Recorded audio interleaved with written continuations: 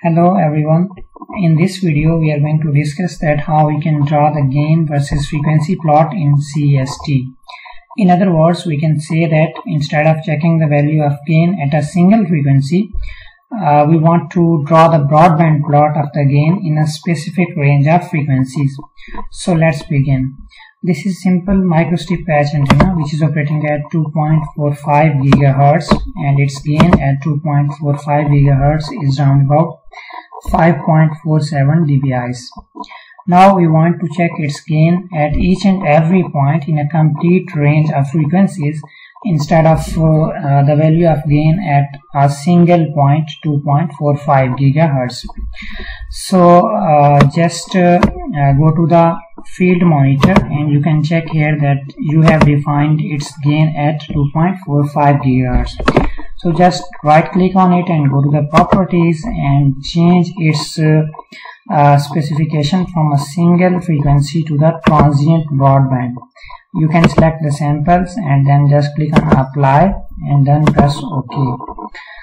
So after uh, defining its uh, transient broadband uh, just click on ok and go to the home and start simulation so now uh, it will be uh, calculating the gain or you can say that the calculating the broadband gain in a specific range of frequencies. Okay so its simulation will take some time. After the completion of simulation uh, we will check the broadband graph of the gain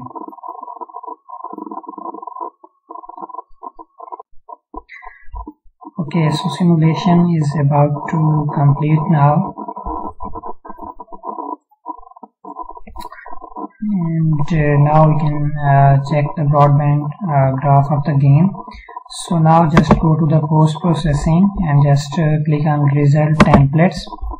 From here uh, you have to select the far field and antenna properties.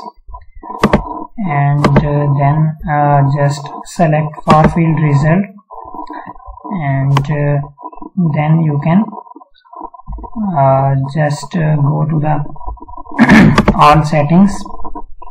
And from these settings you have to select the broadband. And uh, from here you can uh, select the gain right? And just click on ok. And just click on evaluate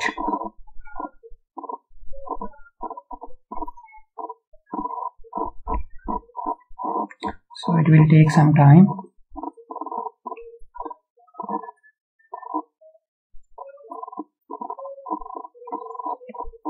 Okay so now uh, this is our uh, gain versus frequency plot. And uh, at uh, 2.45 gigahertz. 2.45 gigahertz.